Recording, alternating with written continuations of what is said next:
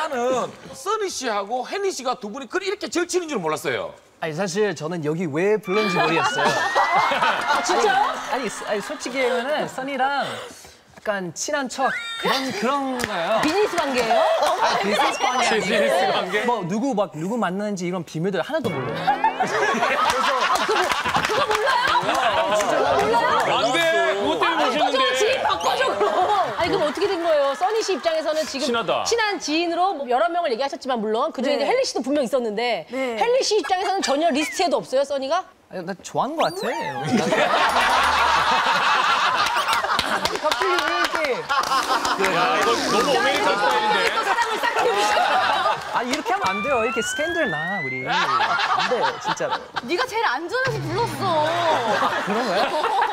되게 안, 안, 안, 안전해서 불렀어. 서로 입장 차이